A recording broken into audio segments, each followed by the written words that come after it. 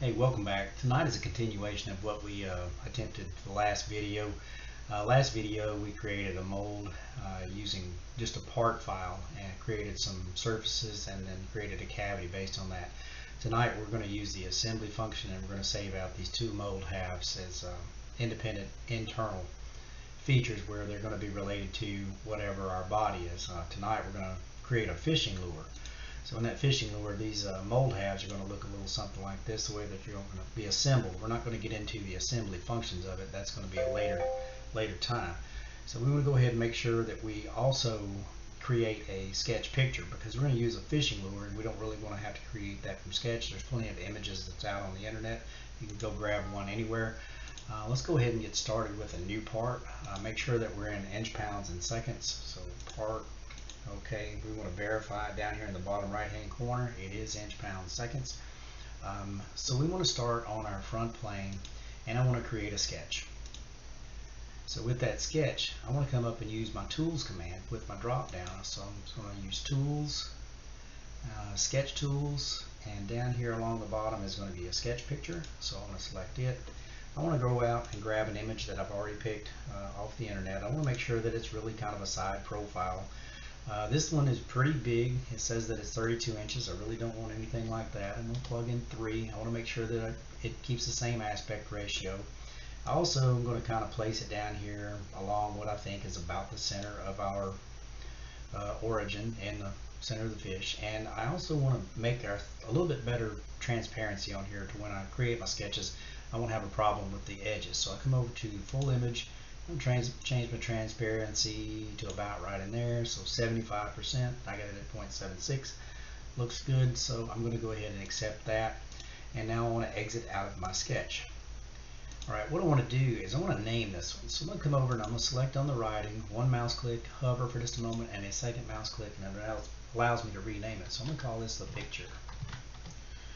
Okay now I'm ready for my next sketch so I want to make sure that I'm out of this. use my escape key a couple times. I'm going to come back to the front plane, select the icon, the little flyout opens up, and I select the sketch tool. I'm going to zoom way in on this thing. Now I'm going to use the um, spline tool, and I'm going to have to create four sketches. So I'm going to come here. I don't want to put too many nodes out on this thing, but I want to put enough to where I've got pretty good control over it. And so after I got one, two, three, four, and five of them, I'm happy with the way it's following that profile. So I want to come up and I want to exit my sketch. I'm going to use my escape command just to make sure that I'm not in the sketch. So I'm going to come over and rename this one where it makes a little bit of sense. So I'll click on it, hover, and then click again, and I'm going to call this the top profile. Alright, now I want to create another one along the bottom, so I want to come over back to the front plane, select the icon, select the sketch tab, and I want to use the spline tool again. This one may be a little tricky because we've got a little bump right here, but let's go ahead and get started here. So one,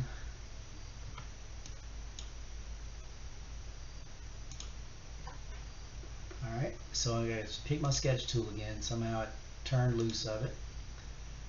So click here, around here, here, uh, this general area, pull it down a little bit, pull it back up, another one, and then place it in this general area and then out there. So I'm pretty happy with the way it's followed that profile and I want to go ahead and exit this sketch as well and I want to rename it. So I come uh, select the select the writing, select it again and I'm going to call it the bottom profile. Alright, now I need to create some planes out here. So I'm going to come up to my reference geometry, select a plane. Um, I want to click the endpoint of both of my splines and my other reference that I want to use. I'm going to expand my tree out and I want it to be perpendicular to my front plane. So it's going to come along this way and it's going to use these other two references. Now I accept this. So we have a plane here and I'm going to call this, I'm going to name it the tail plane. Alright, so I want to use the tail plane and I want to create a sketch. Use my control 8 command to make it normal. Um, it's going to orient pretty far out. I want to hide the plane just to get it out of my way where it doesn't interfere with anything. We're going to use some pretty simple profiles here. I'm just going to use a simple circle and now I want to use a sketch point and I want to place it on this upper node and this lower node. Make sure it snaps to those. Use my escape command and I'm going to rotate this thing around just a little bit where we can see what's going on. So the sketch picture is, kind of there and it may be in the way so I'm going to come over here and I'm going to select it and I'm going to hide that as well. So now that's, that's out of our way. Alright, so I want to add a relation. Make sure that nothing is selected in our entities. So I'm going to come pick this top point that we placed on our circle and the endpoint of our spline. And I want to make those two coincident.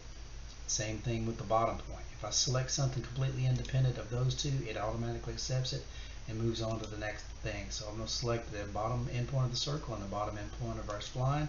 I'm going to make that coincident. Notice our sketch is fully defined and we're, we can now exit this as well. Notice I didn't edit my, I didn't fully define my splines. I could do that, but I want to make sure that everything's going to work before I come back and do that. So I want to exit my sketch. And now I need to create another plane on this opposite side. So we had one here that we drew a circle. So let's go ahead and select reference geometry again. We want to create a plane. I want the two endpoints of our spline and also want it to be perpendicular to our front plane. So I have to expand this out. Select front plane. It is perpendicular. Now we're fully defined. We can accept this. And I want to call this the mouth plane.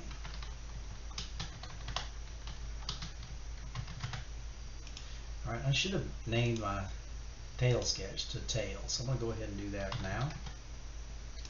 Alright, so now I'm going to select the mouth plane, and I want to select a sketch. And I just want to draw another simple circle. So come up and we'll pick a circle, like about that big, and I want to put sketch points on these two nodes just to make it a little easier to uh, create our points of reference. Um, I'm going to come over and I'm also going to hide the mouth plane. Okay, so let's come up and we want to add relations. I'll make sure I have nothing selected in my box. I'm going to pick the upper point on my circle and the end point of my top profile and I want to select coincident and the same thing with the bottom too. And I want to make those coincident as well.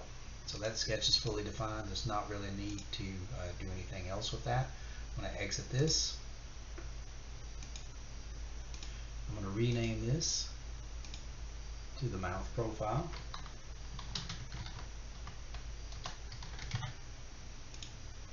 Alright, so now I have several sketches that I can create this body with. So let's just show our sketch picture again just to kind of see how it fits in there and how it's all going to come about. I'm going to hide it again. Now I want to come up and use a lofted boss base. Um, this is where I want to pick the circles kind of in the same spot. So I'll pick both circles. It's pretty well straight here, but I want to use guide curves, and that's the first two splines that we had picked. So I'm picking it along, along the back, so it's kind of funky there. Then I come up and I pick the top curve, and now we have this guide. So this is kind of our fishing lure body that we would be able to use. So I'm going to show the picture again and just see if everything kind of fits, fits in there. And that would be about a three inch long lure with, uh, we could put our treble hooks and, and our leader hook on the front. So I'm going to hide the sketch picture again just to kind of get it out of the way. And I'm going to use my control 7 command uh, to make uh, this orient normal to us. And now I'm going to save this. I'm going to call this, I'm going to create me a new folder and put everything in it.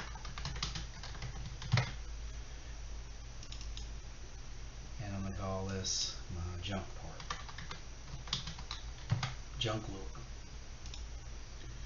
Okay, so now we've got our part. We want to create a new assembly with this. So I'm going to come up to uh, top toolbar, File, uh, Make Assembly from Part. Uh, this is the junk lure. It's out here somewhere because I got that big 30 inch line that I failed to uh, close out.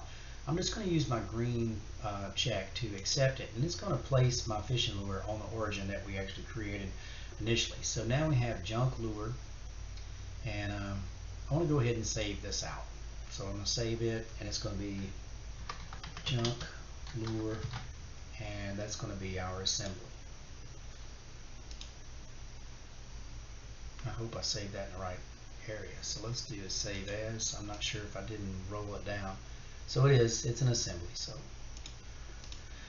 all right. So now what I want to do is I want to add a mold half. So I'm going to come up to the very top and I want to drop this chevron down where it says insert components, but we want to insert a new part. So it says minus part 8. It just depends on how many parts that you've actually worked through, but I'm not going to worry about renaming it or anything, but what I do want to do is I want to select this little flyout comes up and I want to edit this part. So now this one becomes translucent and we're now working in part 8 or whatever part number yours is. And I want to use the the um, planes that was originally in our junk, our, our fishing lure, the one that I named junk. So I'm going to select the front plane and I'm going to create a sketch. Should orient normal to us. I want to come up and select a center rectangle,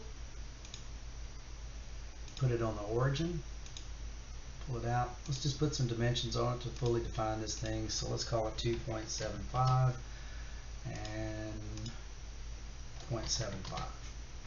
So we're fully defined here. We come back to our features command. We select extruded boss base. I'm going to rotate the thing around. It's headed through here. Um, what I want to do is I want to give it maybe 0.3 so it's actually extended out past our lure. So I'm going to accept that. So we now have this block. We have this translucent uh, fishing lure in here, but I'm not done yet. I want to insert features, and then cavity. All right, the cavity that I want is this fishing lure itself. So I don't really want to pick it over here in the graphics area. I want to come over here and I want to pick it out of the tree just because it's easier for me to see. I may miss it if there's several parts out there. So I'm going to go ahead and accept this. And now if I roll it around, I can look at my mold half and half of it is got a cavity in it. But we're not done yet. We need another mold half on this side and we'd have to put some runners in here. But let's go ahead and let's come up and we want to select our drop down again. We want to create a new part again. This is part number nine. It's just naming them. We can come back and rename them after the fact. I want to come to part nine. I'm going to use my right click command. Low flyout pops up and I want to edit the part. So now notice it's it's highlighted blue and everything else is translucent. I want to create an extruded boss base and I want it on this face that we were working with earlier on the half of our mold use my control 8 command if yours doesn't orient normal to you. Now I'm going to use my convert entities. I don't want to have to create this sketch, so I'm going to select convert entities and ask me what entity I want to convert. I'm going to pick that face. So it's gone ahead and created a sketch for me. And now we can exit our sketch and we should be in the extrude command. Uh, we used 0.3 last time. That's what we're going to use this time as well. Now, this is where when we uh, created our mold cavity, we're going to do it again. So I'm going to select insert uh, features uh, cavity again and this is where I like being able to pick it from the tree instead of over here in the graphics area because it can get kind of confusing so I want to come over and I want to pick my lure again and I want to accept it so now we have a cavity now what I need to do is I need to exit editing the part so now I have two mold halves and we have a fishing lure. So let's come up and see what it looks like. So I'm going to use the exploded view command. I want to pick this mold half. I want to drag. I want to pick this mold half. I want to drag it out. I want to pick this mold half. I want to drag it out the other way. And then our fishing lure, we can pull it up just to see that they're all there. So we rotate the thing around and that's what it all looks like. So just make sure that you've got everything saved in the proper format and you can turn that in on your learning management system. Thanks for watching and we'll see you next time.